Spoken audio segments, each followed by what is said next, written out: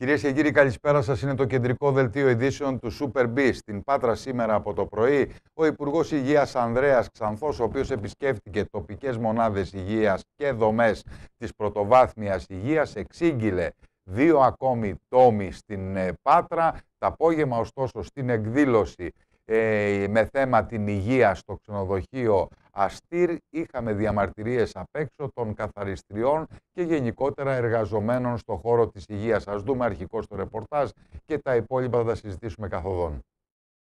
Με τη νέα προκήρυξη που έληξε και την τελική επιλογή που γίνεται θα ενισχύσουμε τις υπάρχουσες δομές με περισσότερους γιατρούς και θα αναπτύξουμε νέες τοπικές μονάδες υγείας σε όλη τη χώρα, δήλωσε από την Πάτρα κατά την επίσκεψή του σε τόμη της ευρύτερης περιοχής ο Υπουργός Υγείας Ανδρέας Ξανθός. Ξεκινάμε ε, με ε, μικρά, καλά μελετημένα και νομίζω εδρεωμένα βήματα ε, αναπτύσσεται το σύστημα υγείας σιγά σιγά. Προφανώς υπάρχουν ελλείψεις και κενά, ε, τα οποία οφείλουμε να τα αντιμετωπίσουμε. Θυμίζω ότι αυτές οι αλλαγές ε, που ε, περιέχουν και μια αλλαγή κουλτούρας και στους επαγγελματίες υγείας, αλλά και στους πολίτες, διότι οι πολίτες μέχρι τώρα δεν είχαν εμπεδώσει αυτή τη νέα προσέγγιση του οικογενειακού γιατρού, ο οποίος είναι ο άνθρωπος πρώτης επαφής με το σύστημα. Πρέπει σιγά σιγά αυτή την κουλτούρα να την εδραιώσουμε στην ε, κοινωνία. Ε, Παρ' όλα αυτά, πιστεύω ότι πραγματικά αυτό είναι ένα μεγάλο στίχημα ε, που θα εξασφαλίσει μακροπρόθεσμα και την καλύτερη φροντίδα, αλλά και την βιωσιμότητα, αν θέλετε, συνολικά της δημόσιας περίθαλψης. Ο Υπουργός είπε ότι στην Πάτρα το επόμενο διάστημα θα ξεκινήσουν άλλες δύο τόμοι. Στόχος, σύμφωνα με τον κύριο Ξανθό, είναι μέχρι το τέλος του χρόνου να έχουν αναπτυχθεί 120 τοπικές μονάδες υγείας ανά τη χώρα. Θεωρώ ότι ε, θα έχουμε τη δυνατότητα στο μέσο επόμενο διάστημα με τη νέα προκήρυξη που έληξε και που τώρα γίνεται η τελική επιλογή των γιατρών να ενισχύσουμε και τις υπάρχουσες δομές με, περισσότερες, με περισσότερους γιατρούς και να αναπτύξουμε επιπλέον τοπικές μονάδες υγείας σε όλη τη χώρα. Έχουμε τώρα 96 λειτουργία. Ε, εδώ μου είπαν ότι στο μέσο επόμενο διάστημα προβλέπεται η έναρξη λειτουργίας άλλων δύο τοπικών μονάδων. Ο στόχος μας είναι μέχρι το τέλος του χρόνου να έχουμε ξεπεράσει τις 120 δομές σε όλη τη χώρα, δηλαδή να έχουμε καλύψει το 50% περίπου της αρχικής, του αρχικού σχεδιασμού ο Υπουργός απάντησε και σε ερώτηση δημοσιογράφων για το νοσοκομείο Άγιος Ανδρέας και τις δύο διοικήσεις. Ε, μια συνάντηση το μεσημέρι με το Σωματείο Εργαζομένων του Αγίου Ανδρέα. Ε, θα εξηγήσουμε ακριβώς ποια είναι τα βήματα. Ετοιμάζουμε μια νομοθετική ρύθμιση η οποία θα επιλύσει αυτή την αυλεψία που υπήρχε στον προηγούμενο οργανισμό ε, που ουσιαστικά φαινόταν να υπάρχουν δύο αυτόνομες οργανικές μονάδες. Θα έχουμε ένα ενιαίο πλέον ε, νοσοκομείο, στο οποίο έχουν ενσωματωθεί τα τμήματα από το παλιό ε, νοσοκομείο Θώρακο στον Αγιο Λουκά ε, και νομίζω μετά θα προχωρήσουμε κανονικά στην πλήρωση και των θέσεων των αναπληρωτών διοικητών. Θέμα νομιμότητας στη δίκη του νοσοκομείου δεν υπάρχει. Αυτό, από αυτού έχουμε απόλυτα τεκμηριωμένη νομική άποψη. Ο Άγιος Ανδρέας έχει ε, απολύτως νόμιμη διοίκηση αυτή τη στιγμή, η οποία μπορεί να λαμβάνει, να λαμβάνει τις αποφάσεις που πρέπει χωρίς κανένα πρόβλημα. Κοντά μας κυρίε και κύριοι ο συνάδελφος Γιώργος Καρβουνιάρης. Καλησπέρα Γιώργο. Καλησπέρα. Ε, ωραία τα από υπουργός. Ε, πρέπει ωστόσο στις τοπικές μονάδες υγείας να φροντίσει να προσελκύει γιατρούς ε, για εργασία, διότι περισσότεροι εξ αυτών αρνούνται. Ταυτόχρονα έχει και πολλά προβλήματα. Είδαμε ε, πριν από λίγο στην εκδήλωση με θέμα την υγεία στο ξενοδοχείο Αστήρ. Απ' έξω οι καθαρίστριες. Το είχαμε προαναγγείλει ότι θα είναι θερμή η υποδοχή του Υπουργού Υγείας στην Πάτρα. Πράγματι η, πρέπει να ολοκληρώνεται αυτή την ώρα η εκδήλωση. Λίγο νωρίτερα λοιπόν, την ώρα δηλαδή που πήγαινε εκεί βλέπουμε και πλάνα τώρα. Ε, υπήρχαν ε, ε, και καθαρίστριες και εργαζόμενοι στο χώρο της υγείας και εργαζόμενοι γενικότερα στον χώρο του δημοσίου ε, οι οποίοι κυρίως των νοσοκομείων βέβαια ήταν ε, και αυτοί που τους αφορούσε περισσότερο ήταν αυτοί που εργάζονται με ατομικές συμβάσεις και ζητούν την μονιμοποίησή τους. είχε λοιπόν έτσι θερμή υποδοχή. Στη συνέχεια είχε πάντως μια συνάντηση με αντιπροσωπεία των εργαζομένων ε, και έτσι με την πάροδο του χρόνου ηρέμησαν και τα πνεύματα. Αυτές οι εικόνες είναι την ώρα που προσερχόταν ο Υπουργός, την ώρα που έφτασε δηλαδή. Έτσι ακριβώς. Το απόγευμα στις 6 ξεκίνησε η εκδήλωση, η οποία είναι εν εξελίξη και όλα είναι ακόμη ε, οι βουλευτές στο ε, ξενοδοχείο Αστήρο που λαμβάνει η χώρα η εκδήλωση για την υγεία. Πάντως τα παράπονα ε, στο χώρο της δημόσιας υγείας είναι ούκο λίγα, ο, εργαζόμενοι, γιατροί, ε, συμβασιούχοι είναι κυριολεκτικά στα κεραμίδια διότι δεν πάει άλλο. Κακά τα ψέματα οι ελλείψεις είναι καταγεγραμμένες σε όλους τους τομείς. Και ταυτόχρονα ε, αν δεν ήταν ε, η στάση ειδικά του προσωπικού και των γιατρών στα δημόσια νοσοκομεία να εργάζονται αδιαλείπτως απίστευτες ώρες έχω την αίσθηση θα φαινόταν. Ναι, αυτό θα πρέπει να το πούμε. Υπάρχουν ναι. πραγματικά άνθρωποι και γιατροί και νοσηλευτικό προσωπικό και διοικητικό προσωπικό ε, που δουλεύουν με αυτοθυσία, εργάζονται με αυτοθυσία πάρα πολλές ώρες, πολλές περισσότερες από όσες ε, θα έπρεπε ε. κάποιες φορές, προκειμένου να καλύψουν τα κενά και να μην υπάρχει πρόβλημα με του ασθενείς. Πάμε να δούμε το επόμενο ρεπορτάζ μαζί, Γιώργο Καρβουνιάρη. Έχουμε παράταση, κυρίες και κύριοι, στη σύμβαση των καθαριστριών στο νοσοκομείο Άγιος Ανδρέας έως τις 30 Απριλίου, ε, κάποιους μήνες δηλαδή ακόμη, οι συγκεκριμένες εργαζόμενες θα έχουν δουλειά παράταση στη διάρκεια των συμβάσεων του προσωπικού που εργάζεται με συμβάσεις έργου στο νοσοκομείο της Πάτρας Άγιος Ανδρέας δίνει ουσιαστικά σχετική τροπολογία που πέρασε από τη Βουλή. Ειδικά το θέμα των καθαριστριών είχε συζητηθεί πολύ έντονα το προηγούμενο διάστημα και κατά πώς φαίνεται αντιμετωπίζεται στην παρούσα φάση τουλάχιστον μέχρι τις 30 Απριλίου 2019.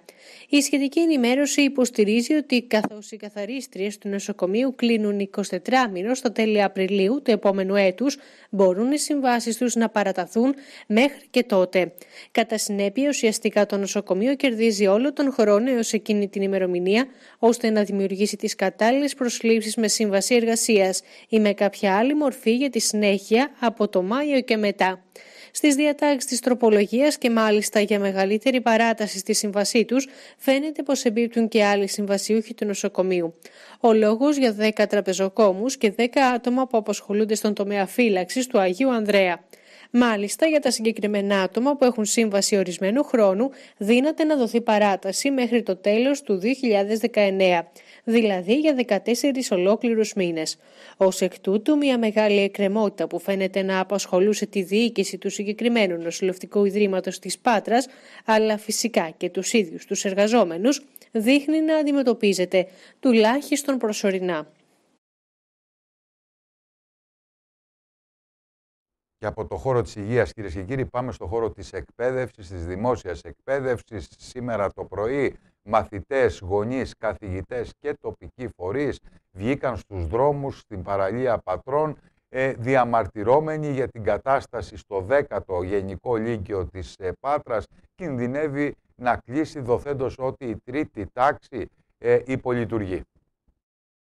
Κινητοποίηση από την Α Ελμαία Χαΐας πραγματοποιήθηκε σήμερα στην ακτή Θυμαίων, στο ύψος του 10ου Λυκείου, που κινδυνεύει να μείνει χωρίς τρίτη τάξη. Γονείς και μαθητές συμμετείχαν στην κινητοποίηση. Το Υπουργείο Παιδείας κοφεύει μέχρι στιγμής, δεν εγκρίνει το μοναδικό τμήμα στην τρίτη Λυκείου, δεν δίνει το δικαίωμα στα παιδιά να συνεχίσουν στο σχολείο που ξεκίνησαν. Εμείς δίνουμε αυτή τη μάχη κόντρα στις πολιτικές που εφαρμόζονται, κόντρα στις οδηγίες του ΟΣΑ, του Διεθνούς Νομισματικού Ταμείου και της Ευρωπαϊκής Ένωσης. Το σχολείο θα λειτουργήσει, τα παιδιά θα μείνουν στο σχολείο τους, καινούριο κτίριο θα φτιαχτεί, η γειτονιά έχει ανάγκη από ένα σχολείο, από το συγκεκριμένο σχολείο. Κανείς δεν πρόκειται να το πάρει, οι γονείς, οι εκπαιδευτικοί και ο Δήμος θα είναι εδώ καθημερινά και θα δίνουν αυτή τη μάχη. Περίφημη κανονικότητα της κυβέρνησης ΣΥΡΙΖΑ ΑΝΕΛ, η οποία περιλαμβάνει υποστελέχωση, κόψιμο χρηματοδοτήσεων, συμπτύξη τμήματων, κλείσιμο σχολείων, έφτασε και στο 10ο Λύκειο Πατρών. Αυτό που βιώνουν εδώ πέρα οι γονείς, την υποβάθμιση του σχολείου, με το κλείσιμο, με την απόφαση για κλείσιμο της γάμα τάξης του Λυκείου, επειδή, με το πρόσχημα ότι φοιτούν 10 μαθητές στην ομάδα προσανατολισμού αντί για 11, πρέπει να βρει την κατηγορηματική αντίθεση και των γονιών και των εκπαιδευτικών και σύσσωμης της πόλης. Απαιτούμε μία απάντηση, δεν παρακαλούμε, το σχολείο πρέπει να μείνει ανοιχτό. Είναι μείζον θέμα για όλη την περιοχή. Ε, περιμένουμε άμεσα απάντηση ε, και αν δεν την έχουμε ε, θα κινητοποιηθούμε και εμείς ε, πολύ σκληρότερα πλέον όλη η περιοχή. Οι μαθητές της τρίτης τάξης κρίνουν απαράδεκτη αυτή την κατάσταση που βιώνουν και παράλληλα μένουν πίσω στη διδακτική ύλη σε μια χρονιά κρίσιμη για αυτούς. Είμαι στην τρίτη ηλικίου. Ε, είναι απαράδεκτο πραγματικά. Είναι τρίτη συνεχόμενη εβδομάδα που δεν έχουμε απάντηση. Υπάρχει τρομερό άγχος. Δεν ξέρουμε καν τι θα μας ξημερώσει την επόμενη μέρα. Δεν ξέρω καν σε ποιο σχολείο θα είμαι. Ε, υπάρχει σίγουρα τρομερό άγχος και με τα μαθήματα. Πολλές πιέσεις. Φροντιστήριο που δεν πηγαίνουμε καν, ξέρω εγώ. Είναι ένα σχολείο μικρό φροντιστηριακό μάθημα. Και δεν γίνεται τώρα να μας αφήνουν έτσι. Είναι απαράδεκτο, πιστεύω. Είναι ελπιδοφόρο το μήνυμα που στέλνει η ενότητα και η διεκδίκηση για τα δίκαια αιτήματα της συγκεκριμένης ε, γειτονιάς, έργα γειτονιάς, η οποία στα πλαίσια της, αιμα... της συγκέντρωσης του αιματοβαμένου ο πλεονάσματος που προσπαθεί να συγκεντρώσει η κυβέρνηση είναι φανερό ότι πάει θυσία το σχολείο στα... για να μπορούν να προσφέρουν όλο και μεγαλύτερες παροχές και κίνητρα στις μεγάλες πολυεθνικές επιχειρήσεις. Την Παρασκευή το μεσημέρι διοργανώνεται νέα διαμαρτυρία με φορείς στην περιφέρεια στο Νεοδρόμο. Λοιπόν, τα προβλήματα όμως στην υγεία δεν είναι μόνο, στην παιδεία δεν είναι μόνο αυτά κυρίες και κύριοι. Ε, πάρα πολλοί γονείς προσπαθούν να πάρουν μεταγραφή τα παιδιά τους στο σχολείο που πρέπει κοντά στην οικία τους για να μην ξοδεύουν απίστευτα χρηματικά ποσά για να πηγαίνουν έρχονται τα παιδιά τους ε, κάθε πρωί απόγευμα στο σχολείο αλλά ουδή συγκινείται. Μέχρι το Υπουργείο Παιδείας έφτασαν, όλοι όμως οι αρμόδιοι σφυρίζουν αδιάφορα. Ας δούμε το σχετικό ρεπορτάζ. Συνεχίζει ο Γολγοθά για μαθητές και γονείς. Το κοντινότερο λύκειο της περιοχής είναι το 1ο Λύκειο, εκεί δηλαδή που πίστευαν ότι θα γραφτούν, αλλά τους στέλνουν στο 11ο Λύκειο στην πλατεία Πυροσβεστίου. Προχώρησαν σε ενστάσεις ώστε τα παιδιά να μεταφερθούν και να κυλήσει ομαλά η σχολική χρονιά. Ωστόσο αυτό καθυστερεί και έτσι η υπομονή των γονέων τελειώνει. Καταρχήν κάναμε ένσταση. Ε, τα νέα δικαιολογητικά που επέβαλα εγώ προσωπικά ήταν ε, ένα χαρτί που πιστοποιεί 75% αναπηρίας με απόφαση και πά, όχι με απλό χαρτί γιατρού.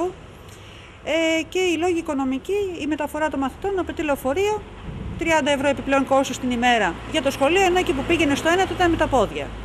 Απορρίφθηκε με η απόφαση γράφει της δευτεροβάθμιας εδώ ότι οι λόγοι δεν υπάγονται σε απόφαση του ΦΕΚ εγκυκλίου της και του Υπουργείου Παιδείας. Κατανοητό αυτό. Αλλά από τη στιγμή που έχει κάνει ο κύριος Αφράτης αποδεκτές αιτήσεις ε, και οι λόγοι που αναφέρει είναι εξαιρετικής φύσεως, γιατί απορρίπτει τις δικές μου. Δεν μου απαντάει, τον βρήκα. Ε, ναι, βρίσκομαι σε μια δύσκολη κατάσταση γιατί, γιατί δεν ε, βολεύει η συγκοινωνία ε, και πρέπει να ξεκινήσει το ένα, το οποίο σταματάει εδώ στη Φαβιέρο, ε, στην Έλληνο στρατιώτου ε, και μετά να πάρει το δρόμο για να πάει στην Πιζανίου, που είναι το σχολείο της. Η διαδικασία μεταφοράς στο ένα το Λύκειο καθυστερεί και τα παιδιά υπάρχουν και μέρες που δεν πηγαίνουν σχολείο, ενώ η ψυχολογία τους, όπως έγινε γνωστό, δεν είναι και η καλύτερη. Το ίδιο και των γονέων. Έχω στείλει καταγγελία στο Υπουργείο Παιδείας ε, για να εξεταστεί και αυτή τη στιγμή μου είπαν από το Υπουργείο να πάρω ε, χαρτί και από το ένα σχολείο και από το άλλο ότι δέχονται τις μεταγραφές, να το φέρω στη δεύτερο βάθμια και να σταλεί να εξεταστεί από το Υπουργείο. Δηλαδή τα παιδιά θα πάνε σχολείο όποτε το κάποτε, έτσι. Δηλαδή, ήδη τα παιδιά βρισκόμαστε στον Οκτώβρη, ε, αδυνατούν να πάνε στο σχολείο. Υπάρχουν και μέρες που δεν πηγαίνουν στο σχολείο λόγω οικονομικών. Αρκετά. Τώρα έχουν αρχίσει και πηγαίνουν κάποιες μέρες, γιατί πλέον οι απουσίες έχουν αυξηθεί. Ε, σύμφωνα με την εγκύκλιο, οι απουσίες μεταφέρονται, οπότε δεν μπορούν να συνεχίσουν να κάνουν απουσίες.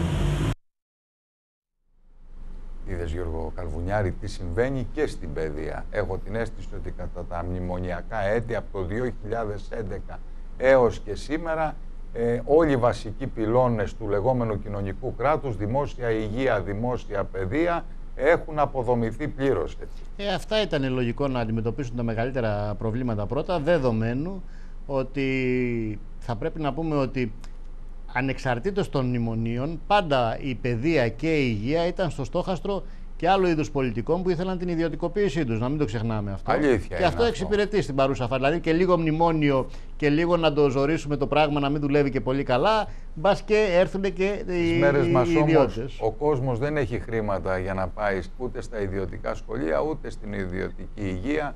Με συνέπεια ε, να πεθαίνει περιμένοντας εξωτερικά η ιατρία τη σειρά του. Πάμε στις λοιπές ειδήσεις Γιώργο Καρβουνιάρη από την τρέχουσα επικαιρότητα. Ξεκινάμε με το μπαράζ ελέγχων σήμερα από κλιμάκιο της εφορίας, από Αθήνα και Καλαμάτα κυρίες και κύριοι εφοριακοί, στο κέντρο, στην καρδιά της ε, αχαϊκής πρωτεύουσας. Πες μας τι συνέβη, Ναι, ήρθανε τι ήλεγξαν. ταυτόχρονα, κάνανε, Ναι. πώς το λένε, σοκ και δέος. Σοκ από τη μία πλευρά της πλατείας, δέος από την άλλη πλευρά Στην της πλατεία πλατείας, Γεωργίου. είχαμε, ναι. Ε, ήταν απίστευτο αυτό το πράγμα που συνέβη δηλαδή και δεν νομίζω να έχει ξανασυμβεί. Δεν το θυμάμαι τουλάχιστον τα σχετικά τελευταία χρόνια. Ε, από τη μία πλευρά της πλατείας ήταν το κλιμάκιο που είχε έρθει από την Καλαμάτα και από την άλλη πλευρά της πλατείας ήταν το κλιμάκιο που είχε έρθει από την Αθήνα. Και κάναν ταυτόχρονα ελέγχους. Είχαν μοιράσει την πλατεία και κάναν ελέγχους. Ε, Προφανώς έτσι σοκαρίστηκαν υπό την έννοια ότι αυτό το πράγμα ήταν ε, εντυπωσιακά επιχειρησιακό, πώς το λένε, Δεν έχει α- προηγούμενο άθλος ουσιαστικά. ήταν Ναι, αυτό δεν που έχει έγινε. προ... Σου λέει μην ειδοποιείς τον απέναντι Όχι, ότι ναι, και, πήγα- ναι, μπράβο. Ακριβώς. Ο, ο λόγος ενδεχομένως ήταν και αυτός. Γιατί φάνηκε ότι τα δύο κλιμάκια μάλλον ήταν σε συνεννόηση. Δηλαδή δεν ήταν τυχαία εντελώς ξαφνικά στην Πάτρα και το ένα από εδώ το άλλο από εκεί. Πάντως και συνέχισαν, επεκτάθηκαν και εκτός πλατείας κάνοντας ταυτόχρονους ελέγχους και οι πληροφορίες μας λένε ότι θα παραμείνουν για αρκετές μέρες στην Πάτρα. Δεν φύγανε. Έτσι, πάντως στην Πάτρα με ποσοστό ανεργίας 40% με 15.000 επιχειρήσεις ε, να, βα- να, που έβαλαν λουκέτο κατά την τελευταία πενταετία, ελάχιστα πράγματα θα βρουν. Καλό θα είναι να παραμείνουν έως και τα τέλη του Οκτώβρη στα νησιά που υπάρχει ακόμα κινητικότητα ειδικά από Ε, τους Κοίτα, μπορεί να ξένους. το δεις και μισογεμάτο το ποτήρι. Να Εδώ- παραμείνουν εδώ πέρα για να τρώνε, να πίνουν, να χαλάνε μερικά χρήματα ώστε Όταν- να κυκλοφορεί και λίγο χρήμα στην Στην αγορά. για να Πάτρα, έχουμε. εάν βάλεις ένα αξιοσημείωτο πρόστιμο σε κατάστημα, βάζει μόνος του λουκέτο. Αφού δεν έχει να το πληρώσει κακά τα ψέματα, η κίνηση είναι ελάχιστη. Βλέπουμε πώς είναι το οικονομικό μας περιβάλλον. Πάμε, Γιώργο, σε μία ακόμα εξαπάτηση ηλικιωμένων σε χωριό στη Δυτική Αχαΐα. Από αυτό το βήμα το έχουμε πει ούκο λίγες φορές. Μην εμπιστεύεστε κανέναν, μην ανοίγετε τις πόρτες σας. Έχασαν οι άνθρωποι 5.000 Την ευρώ. κρίσιμη ώρα δυστυχώς όταν ο, ο απατεώνας βρίσκεται μπροστά σου, ο οποίος ξέρει να κάνει καλά το παιχνίδι του, ε, είναι δύσκολο να, να θυμηθείς τις συμβουλές που δίνουμε. Εμείς θα συνεχίσουμε πάντως να τις δίνουμε, ε, καθώς ο κόσμος θα πρέπει να προστατευτεί, κυρίως οι ηλικιωμένοι που μπαίνουν στο στόχαστρο των απατεώνων. Ηλικιωμένο ζευγάρι λοιπόν σε χωριό της Δυτικής Αχαΐας δέχτηκε την επίσκεψη απατεώνα ο οποίος υποστήριξε πως ήταν τεχνικός τη ΔΕΗ ότι υπήρχε μια βλάβη στην περιοχή και έπρεπε να μπει στο σπίτι τους.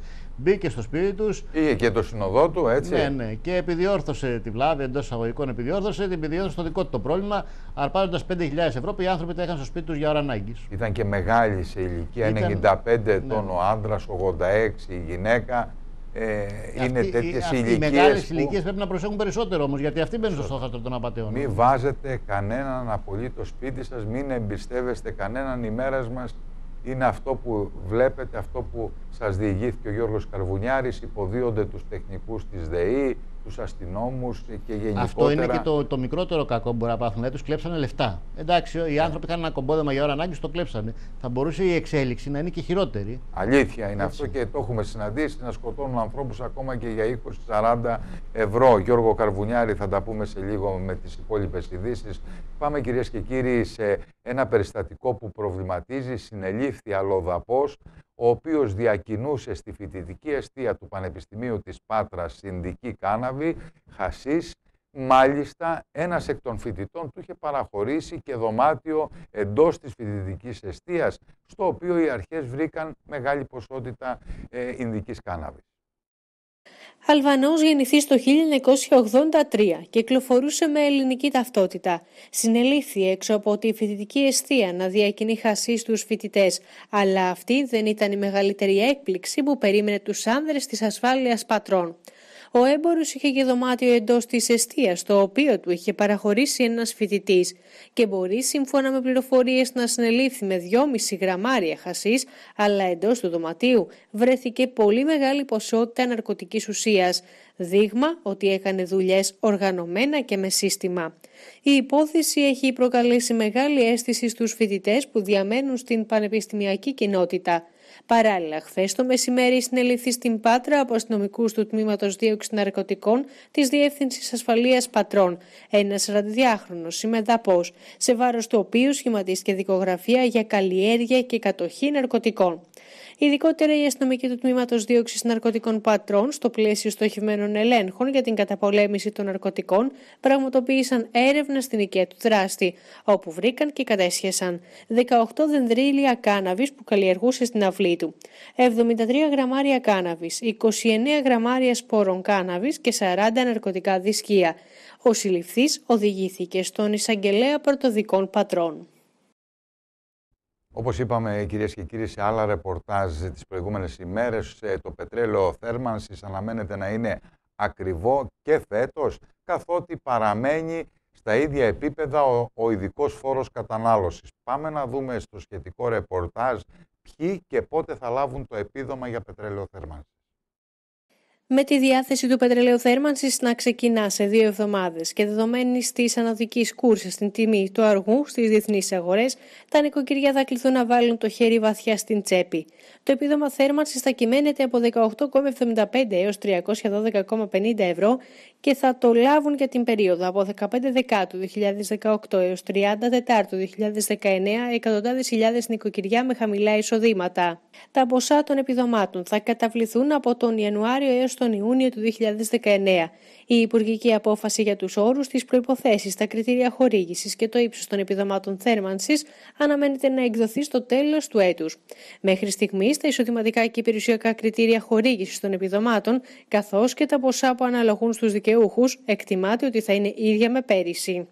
Δικαιούχοι του επιδόματος θέρμανσης θα είναι άγαμοι φορολογούμενοι, οι οποίοι κατά το προηγούμενο έτος είχαν ετήσιο συνολικό εισόδημα μέχρι 12.000 ευρώ και την 1η Ιανουαρίου 2018 κατήχαν αστική ακίνητη περιουσία συνολικής αντικειμενικής αξίας μέχρι 100.000 ευρώ.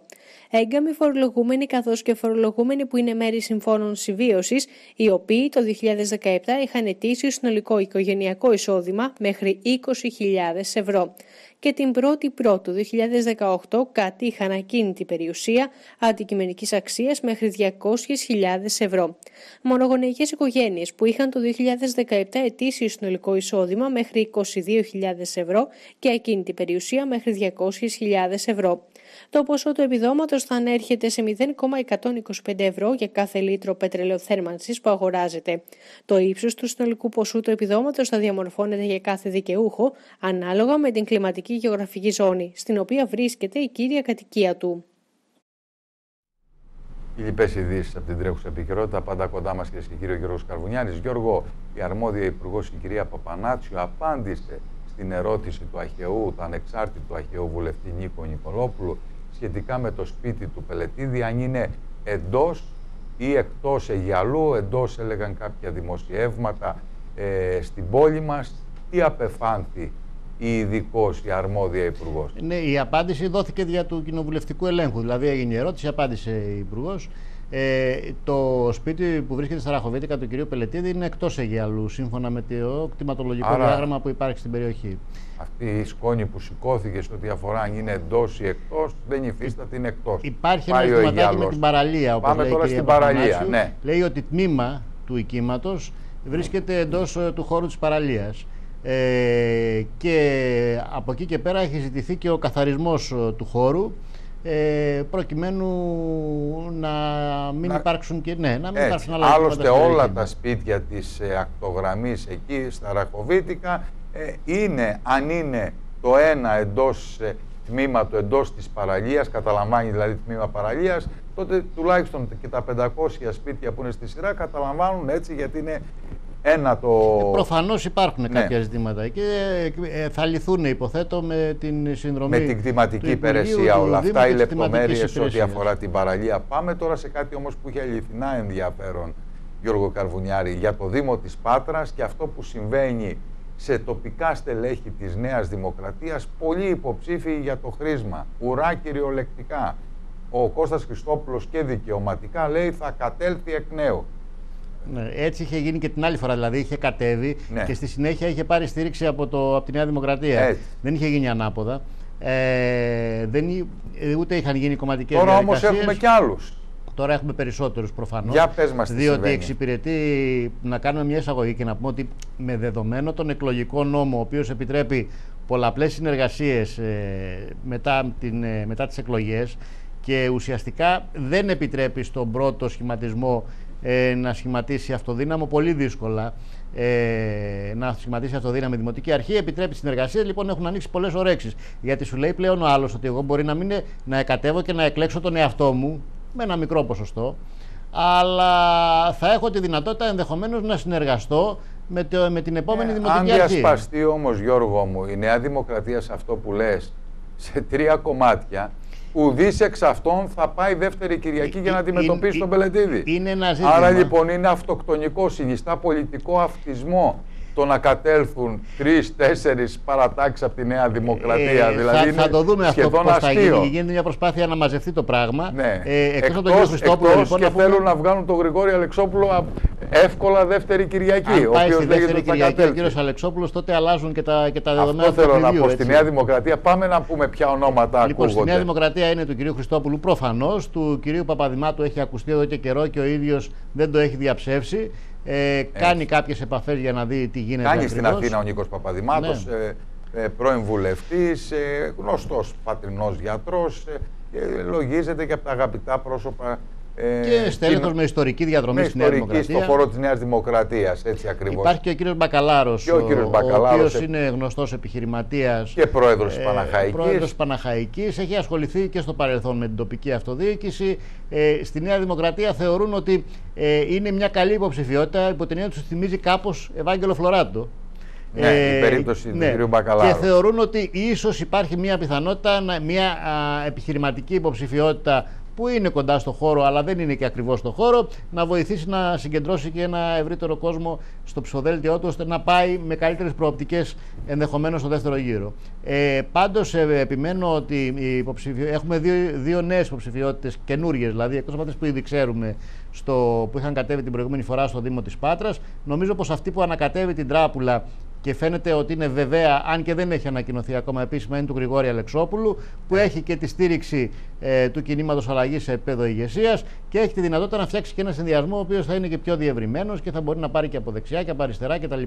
Να πάει στο δεύτερο γύρο και μετά όλα είναι ανοιχτά.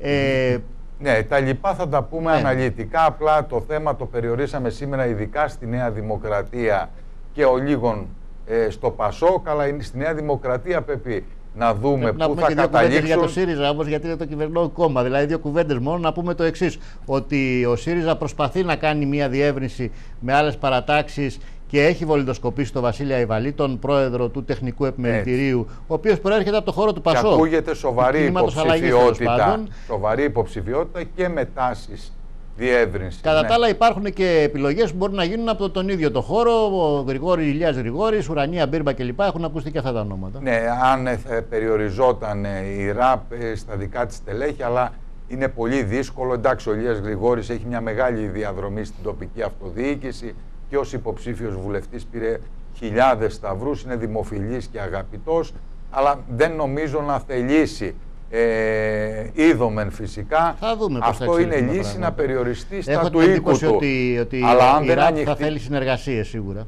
θα θέλει συνεργασίες για να μην υπάρξει ας πούμε πολύ μικρό ποσοστό και πλήξει το ΣΥΡΙΖΑ ε, στις βουλευτικές εκλογές, διότι έχει αντίκτυπο. Αν δηλαδή λάβει Ε, μονοψήφιο ποσοστό, αντιλαμβάνεσαι όλο τούτο μεταφέρεται και σαν αίσθηση στις βουλευτικές Και οποτεδήποτε. με δεδομένο ότι πλέον φαίνεται ότι απομακρύνεται το ενδεχόμενο λόγω των εξελίξεων στο Σκοπιανό ταυτόχρονων εκλογών το Μάιο και να γίνουν ίσως λίγο πιο αργά οι Έτσι. εθνικές εκλογές, θα ήταν κάπως βαρύ για το ΣΥΡΙΖΑ να έχει φέρει ένα τέτοιο αποτέλεσμα στην Πάντρα. Έτσι ακριβώς ε, Γιώργο Καρβουνιάρη, να σε ευχαριστήσω πολύ. Κυρίες και κύριοι, αλλάζουμε θέμα και κλίμα. Πάμε στα επαγγελματικά λύκεια. Εγκρίθηκε να λειτουργούν πλέον στα, σε όλα τα λύκεια της ε, χώρας ολιγομελή τμήματα.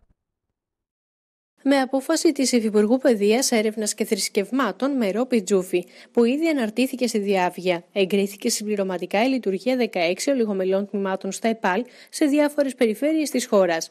Όπως ανακοινώθηκε, με την απόφαση αυτή ολοκληρώνεται η διαδικασία έγκρισης τμήματων με αριθμό μαθητών μαθητριών μικρότερο από τον προβλεπόμενο από την ισχύουσα νομοθεσία, ενώ παράλληλα υλοποιείται η δημόσια δέσμευση του Υπουργού Παιδείας κ.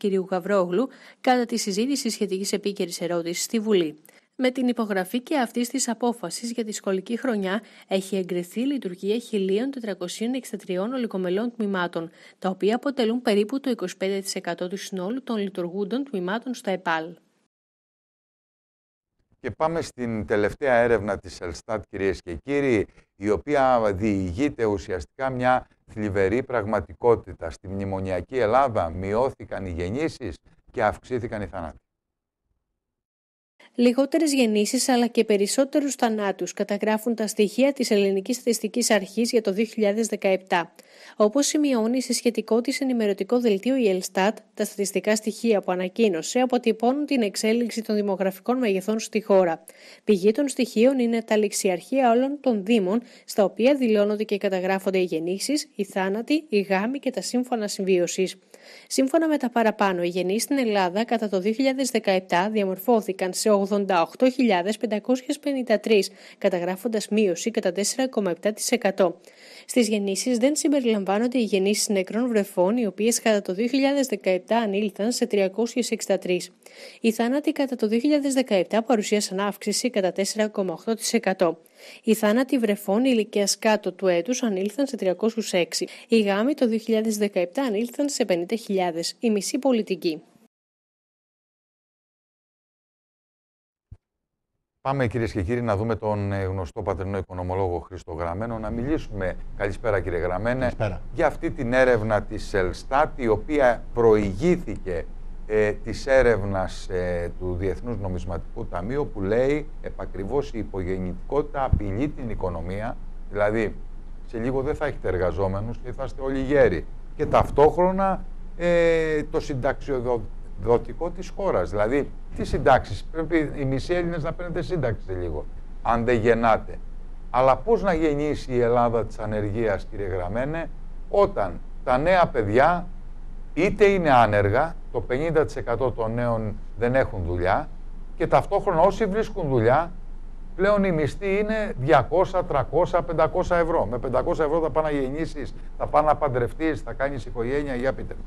Ένας λόγος που γενικότερα οι οικονομίες στο δυτικό κόσμο, στο σύγχρονο κόσμο, ε, ε, σημειώνουν κάποιους ρυθμούς επιβράδυνσης όσο αφορά την ανάπτυξη, όσο αφορά τα μεγέθη τους, είναι ουσιαστικά το ασφαλιστικό σύστημά τους, το οποίο συνέχεια με τη γύρανση του πληθυσμού επιβαρύνεται οικονομικά, αναγκάζει τις οικονομίες να δανείζονται και σιγά σιγά οι οικονομίες μετά πρέπει να μπαίνουν σε μνημόνια και να γίνονται οι κρίσεις. Ούτως ή άλλως αυτό είναι ένα πρόβλημα το οποίο δεν έχει να κάνει μόνο με την κρίση την οικονομική, έχει να κάνει και με τον τρόπο ζωής μας, όπως έχει μεταβληθεί αυτός στο δυτικό κόσμο. Αλήθεια. Είναι φυσιολογικό αυτό να επιβαρύνει την οικονομία. Ένας πιο γύρω πληθυσμός έχει μεγαλύτερες υγειονομικές ανάγκες. Αυτό επιβαρύνει τον τομέα της υγείας. Στη συνέχεια αυτός δανείζεται για να καλύψει τα κενά και το καθεξής. Στην περίπτωση της Ελλάδας ε, μπορεί να μας αρέσουν τα ωραία σενάρια και τα εύκολα λόγια ότι μας φταίνει ξένοι για τα μνημόνια, αλλά είναι μια αλήθεια ότι αν κάποιος δει τα ελλείμματα του τομέα υγείας της χώρας μας το 2000 και μετά, θα παρατηρήσει ότι εκεί είναι όλο το χρέος της χώρας. Είχαμε, μια, είχαμε τάξη μεγέθους τη, ε, περίπου 10-12 δις το χρόνο για αυτό το τομέα. Άρα μου λέτε επί της ουσίας από το 18 χρόνια, πριν 18 Αν χρόνια τα αφήσουμε, ξεκίνησε βγαίνει το το, κακό. μνημόνιο. Βγαίνει Ναι. ακριβώς τι χρωστάμε. Τα 180 δις που περίπου χρωστάμε αυτή τη στιγμή είναι ουσιαστικά ό,τι δανειζόταν η χώρα. Αλλά με τους τόκου έχουν πάει 330 δις, Φυσικά, αλλά, αλλά ναι. το βασικό κεφάλαιο προκύπτει από το άθροισμα των ελλημάτων που προέκυπταν στον τομέα υγείας και τομέα ασφάλειας, Έτσι. ασφάλειας της χώρας. Είναι κάτι το οποίο Πάντως θα επιληθεί εύκολα σύμφωνα με τον κύριο Τσακαλώτο, διότι οι μεγαλοσυνταξιούχοι ε, από του χρόνου έως τα επόμενα, την επόμενη δεκαετία θα πεθάνουν. Κύριε Χωρίτο, Οπότε δεν θα νομίζω- έχουμε μεγάλες συντάξεις. νομίζω ότι... Μακάβρια μεν δήλωση, αλλά σε κάθε όχι, είναι περίπτωση. πολύ καλά νέα για την κυβέρνηση. Πολύ Ναι. σωστά το λέτε. Γιατί όχι μόνο θα, δεν θα χρειάζεται να δώσουμε συντάξεις, αλλά τζάμπα μιλάμε, όπως είπε ο κ. Τσακαλώτος, ή θα πεθάνουν όλοι οι εβδομηντάριδες. Αυτό είπε. Ναι. Αυτό λεξί. Πλέον έχουμε και στοιχεία ότι δεν χρειάζεται να ανησυχούμε για την ανεργία, γιατί δεν γεννιόνται παιδιά. Οπότε προφανώς στη λογική της κυβέρνησης Έτσι, μια μόνο, χαρά είναι. μόνο τα με νέα. χιούμορ αντιμετωπίζονται, έχω την αίσθηση, ε, θλιβερά Το προκαλούν. πράγματα. Πάμε όμως επί το πρακτέο. Δεν έχουν τόσο η Ελστάτ όσο και το Δούνου τους ως έρευνες δίκιο. Όταν δεν ε, υπάρχουν γεννήσεις ή είναι μει, μειωμένες δραματικά, ποιο να είναι το μέλλον της Ελλάδας χωρίς νέους ανθρώπους; Θα είμαστε μια γυρασμένη χώρα και όχι μόνο δεν θα έχουμε να δίδουμε συντάξεις.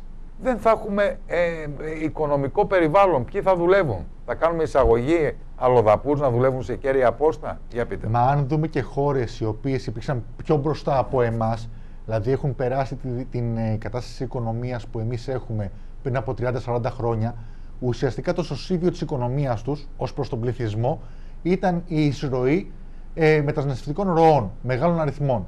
Αν κάποιος επισκεφθεί, ας πούμε, τη Γερμανία ή Ναι. την ε, Βρετανία, θα παρατηρήσει ότι το κενό ε, που άφησε η υπογεννητικότητα και έπρεπε να καλυφθεί στον τομέα της ανάπτυξης, της βιομηχανίας, της παραγωγικότητας, καλύφθηκε από μεταναστευτικές ροές.